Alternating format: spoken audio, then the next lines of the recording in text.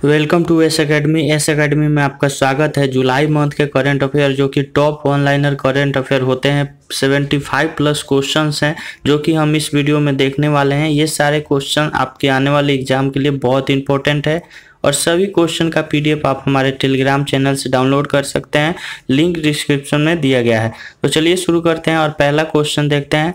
हाल ही में किस देश ने लंदन क्लाइमेट एक्शन वीक में वैश्विक स्तर पर पहली बार सोयाबीन के सतत उत्पादन के लिए ग्रीन बॉन्ड प्रस्तुत किया है? इस क्वेश्चन का सही आंसर होगा ब्राज़ील। ब्राज़ील ने ऐसा प्रस्तुत किया है। अगला क्वेश्चन है, अंतर्राष्ट्रीय क्रिकेट परिषद यानी आईसीसी ने हाल ही में किस पूर्व भारतीय बल्लेबाज को क्रिकेट के हॉल ऑफ़ फेम में शामिल किया है? और इस क्वेश्चन का सही आंसर होगा सचिन तेंदुलकर। गूगल ने ओपोलो 11 मिशन के कितने साल पूरे होने पर डूडल बनाकर याद किया? तो इस क्वेश्चन का सही आंसर होगा 50 साल। अगला क्वेश्चन है, आईसीसी ने सरकारी दखल अंदाजी को लेकर किस क्रिकेट टीम को तत्काल प्रभाव से सस्पेंड कर दिया है? तो इसका आंसर होगा जिम्बाब्वे क्रिकेट टीम। अगला क्वेश्चन यहाँ पे देखने वाले हैं और वीडियो अच्छा लगे तो इसे लाइक करें, शेयर करें और चैनल को सब्सक्राइब करके बेल आइकन दबाएँ ताकि आपको रेगुलर वीडियो का नोटिफिकेशन मिलता रहे। क्वेश्चन है, वह राज्य सरकार जिसने हाल ही में शहीद होने और अक्षम हो जाने वाले सैनिकों को दी जाने वाली वित्तीय सहायता को वृद्धि की मंजूरी दे दी है, इस क्वेश्चन का सही आंसर होगा महाराष्ट्र सरकार। हिमा दास ने महिलाओं को कितने मीटर की दौड़ में पंद्रह दिन के अंदर ही चौथा स्वर्ण पदक हासिल कर लिया है? तो इसका आंसर होगा 200 मीटर। 200 मीटर में इन्होंने चौथा स्वर्ण पदक हासिल किया है। डब्ल्यूएचओ द्वारा हाल ही में किस देश में दो मिलियन लोगों के घातक इबोला वायरस से ग्रसित होने पर अंतर्राष्ट्रीय स्वास्थ्य आपातकालीन घोषित कर दिया है? इसका आंसर होगा कांगो। हाल ही में खगोल वीडियो ने किस ऐसे आकाशीय पिंड की खोज की है जो एक उपग्रह है? तो इसका आंसर होगा प्लूनेट प्लूनेट एक ऐसा खगोलीय पिंड है जो कि यहाँ पे खोज किया गया है खगोलीय यहाँ पे शोधकर्ताओं के द्वारा, जो कि एक उपग्रह बताया जा रहा है और इसका नाम है प्लूनेट।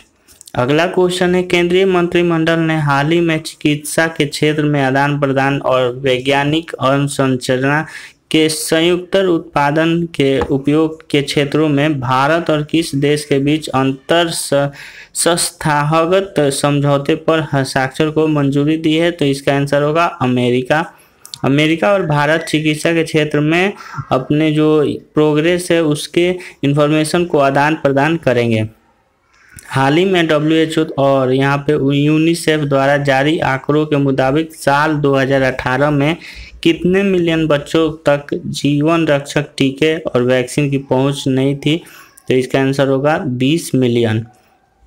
एलएनटी के ग्रुप चेयरमैन का नाम बताना है, जिन्हें हाल ही में आईटी कंपनी माइंड माइंड्री का गैर कार्यकारी चेयरमैन नियुक्त किया गया है तो इसका आंसर होगा A M Nayak. A M नायक जो कि एल ग्रुप के चेयरमैन है और इनको माइंड्री का गैर कार्यकारी चेयरमैन नियुक्त किया गया है। अगला क्वेश्चन है, हाल ही में किस राज्य में केंद्रीय विश्वविद्यालय और जनजातीय विश्वविद्यालय की स्थापना के लिए राज्यसभा ने केंद्रीय विश्वविद्यालय संशोधन विधेयक 2019 पारित किया है? इसका आंसर होगा आंध्र प्रदेश। आंध्र प्रदेश में केंद्रीय विश्वविद्यालय और जनजातीय विश्वविद्यालय की स्थापना की जाएगी। अगला क्वेश्चन है, किस शहर में हाल ही में संगीत नाटक अकादमी फेलोशिप अकादमी, रत्न और संगीत नाटक अकादमी पुरस्कारों की घोषणा की है तो इसका आंसर होगा नई दिल्ली। केंद्र सरकार सितंबर 2019 तक सभी राज्यों में किस टीकाकरण अभियान लागू करने की योजना बना रहा है तो इसका आंसर होगा रोटा वायरस। रोटा वायरस, इसका सही आंसर है, कौन सा राज्य है जो कि देश में जल नीति पेश करने वाला पहला राज्य बन गया है, इसका आंसर होगा मेघालय। अगला क्वेश्चन है, वह देश जो अंतर्राष्ट्रीय और सौर संगठन, सौर गठबंधन में शामिल होने वाला छिहत्तरवा देश बना तो इसका आंसर होगा पलाऊ। नेक्स्ट क्वेश्चन है, किस राज्य के विधि आयोग में, विधि आयोग ने मॉब लिंचिंग के बढ़ रही घटनाओं के मद्देनजर ऐसे मामलों में शामिल आरोपियों को उम्र कैद की सजा देने की सिफारिश की है तो इसका आंसर होगा उत्तर प्रदेश। उत्तर प्रदेश में मॉब लिंचिंग के मामले में जो भी आरोपी होंगे, उनको उम्र कैद देने की घोषणा के लिए यहाँ पे सिफारिश किया गया है। अगला क्वेश्चन है, इसरो द्वारा की गई घोषणा के अनुसार चंद्रयान टू किस तारीख को लॉन्च किया जाएगा? इसका आंसर होगा 22 जुलाई। 22 जुलाई 2021 को चंद्रयान टू लॉन्च किया जाएगा। प्रत्येक साल 18 जुलाई को किस दिवस के रूप में मनाया जाता है? इसका आंसर होगा नेल्सन मंडेला दिवस। रेस्टोरेंट चेन स्वागरना भवन के मालिक का नाम क्या था? जिन्हें उम्र कैद की सजा सुनाई गई थी, लेकिन उनका हृदयघात के कारण निधन हो गया। तो इसका आंसर होगा पी राजगोपाल। पी राजगोपाल और ये रेस्टोरेंट चेन सरवना के सरवना भवन के मालिक थे। अगला क्वेश्चन है, हाल ही में वह देश जिसने अपना एयर स्पेस भारत के लिए खोल दिया है, इसका आंसर होगा पाकिस्तान। वह देश जो अंतर्राष्ट्रीय निशानेबाजी विश्व कप 2020 की मेजबानी करेगा, इसका आंसर होगा भारत। भारत 2020 अंतर्राष्ट्रीय निशानेबाजी विश्व कप की मेजबानी करने वाला है। नेक्स्ट क्वेश्चन है, हाल ही में चीन ने किस देश से तिब्बती गुरु दलाई लामा के उत्तराधिकारी को मान्यता नहीं देने का आग्रह किया है? इसका आंसर होगा भारत। भारत से आग्रह किया है कि मान्यता नहीं दिया जाए। अगला क्वेश्चन है, पाकिस्तान ने किस पवित्र गुरुद्वारे में भारतीय तीर्थ यात्रियों को वर्ष भर के लिए वीज़ा मुक्त प्रवेश देने की सहमति व्यक्त की है? तो इसका आंसर होगा करतारपुर साहिब। और यहाँ पे भारतीयों को तीर्थ यात्री जो भी होंगे उनको वर्ष भर के लिए वीज़ा मुक्त प्रवेश दिया जाएगा। अगला क्वेश्चन है हाल ही में भारतीय वनस्पति संरक्षण द्वारा की गई ऑडिट यहाँ पे वनस्पति सर्वेक्षण द्वारा की गई और ऑडिट की पहली व्यापक जनगणना के अनुसार आ, किस देश में ऑडिट ऑडिट प्रजाति या वर्गीकी की कुल संख्या बारह पाई गई है तो इसका आंसर होगा भारत। कौन सा राज्य सरकार है जिसने पतंजलि समूह के प्रवर्तक योग गुरु रामदेव को लातूर ज़िले में अपनी इकाई स्थापित करने के लिए आमंत्रित किया है? तो इसका आंसर होगा महाराष्ट्र सरकार। महाराष्ट्र के लातूर में यहाँ पे स्थापना की मंजूरी दी गई है। अगला क्वेश्चन है, हाल ही में सुप्रीम कोर्ट ने अपने एक आदेश में केंद्र सरकार पंजाब और किस राज्य को सतलज यमुना को जोड़ने वाली नहर से जुड़े मुद्दे को सौहार्दपूर्ण ढंग से हल करने को कहा है? तो इसका आंसर होगा हरियाणा। इसमें यहाँ पे आपको दिख रहा है, केंद्र सरकार पंजाब और हरियाणा के बीच का ये मामला है, सतलज यमुना को जोड़ने वाली नहर का मामला है, जिसको सुप्रीम कोर्ट ने कहा है कि इसको सौहार्दपूर्ण ढंग से हल किया जाए।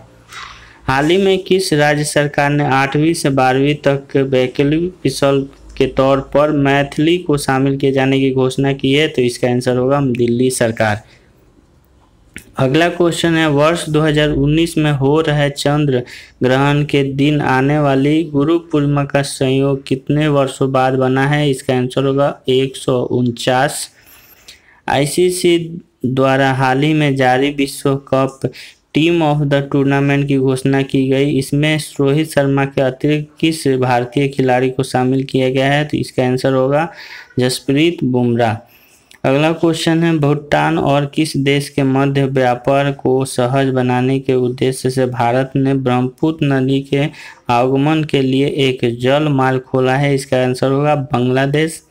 नेक्स्ट क्वेश्चन है, हाल ही में किए गए एक अध्ययन के अनुसार किस देश में जलवायु परिवर्तन केवल परिस्थितिकी तंत्र के लिए खतरे नहीं है, बल्कि इससे पुरातत्व इमारतों एवं स्थलों की भी क्षति पहुँच रही है? इसका आंसर होगा ग्रीनलैंड अगला क्वेश्चन है, हाल ही में किस टेनिस खिलाड़ी ने रॉजर फेडरर को हराकर लगातार दूसरा विबलंडन खिताब जीत लिया है? इसका आंसर होगा नोवाक जोकोविच।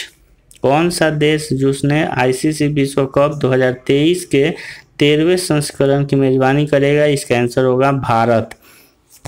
अफ़गानिस्तान के किस लेग स्पिनर को तीनों की फॉर्मेट में तीन टीम का नया कप्तान नियुक्त किया गया है? तो इसका आंसर होगा राशिद खान। अगला क्वेश्चन है, वह भारतीय मुक्केबाज जिसने अमेरिका के माइक स्नाइडर को हराकर पेशेवर मुक्केबाजी में लगातार ग्यारहवीं बार जीत दर्ज की है। इसका आंसर होगा विजेंद्र सिंह। अगला क्वेश्चन है, हरियाणा मंत्रिमंडल ने निजी क्षेत्र की नौकरियों में राज्य के युवकों को कितने परसेंट आरक्षण देने की घोषणा के लिए अध्यादेश जारी किया है? तो इसका आंसर होगा पचहत्तर परसेंट। हाल ही में किस भारतीय लेखक को ग्रेट इमिग्रेट्स 2020 का अवार्ड प्रदान किया गया है? तो इसका आंसर होगा सिद्धार्थ मुखर्जी। झारखंड सरकार ने कोरोना के कारण प्रतिवर्ष आयोजित होने वाले किस मेले के आयोजन पर रोक लगा दी है? तो इसका आंसर होगा श्रावणी मेला, यानी सावन का मेला, जो कि प्रत्येक वर्ष लगता है। इसको रोक लगा दिया गया है। मध्य प्रदेश विधानसभा के प्रोटेम स्पीकर के रूप में किसे नियुक्त किया गया है? इसका आंसर होगा रामेश्वर शर्मा। अगला क्वेश्चन है बीजेपी के वरिष्ठ नेता और पूर्व केंद्रीय मंत्री कलराज मिश्र को किस राज्य का नया राज्यपाल नियुक्त किया गया है? और इस क्वेश्चन का सही आंसर है, हिमाचल प्रदेश। इंग्लैंड ने किस देश को हराते हुए पहली बार क्रिकेट विश्व कप का खिताब जीता? इसका आंसर होगा, न्यूजीलैंड। हाल ही में किसे विश्व बैंक के प्रबंध निदेशक यानी एमडी और मुख्य वित्तीय अधिकारी सीएफओ नियुक्त किया गया है। इसका आंसर होगा अंशुला कांत। अगला क्वेश्चन है तुर्की के रक्षा मंत्रालय ने हाल ही में रूसी मिसाइल रक्षा प्रणाली की पहली खेप तुर्की पहुँचने पर किस देश द्वारा प्रतिबंध लगाने की आशंका जताई है और इस क्वेश्चन का सही आंसर है अमेरिका। तो ये रहा हमारा जुलाई मंथ का करंट अफेयर जो कि top one liner current affair था और इस वीडियो में हम लोगों ने क्वेश्चन को देखा। और आई होप आपको वीडियो पसंद आया होगा। वीडियो को लाइक और शेयर ज़रूर करें और पीडीएफ से रिवीजन करने के लिए टेलीग्राम चैनल डाउन यहाँ पे आप ज्वाइन कर सकते हैं। लिंक डिस्क्रिप्शन में दिया गया है। वीडियो देखने के लिए बहुत बहुत धन्यवाद।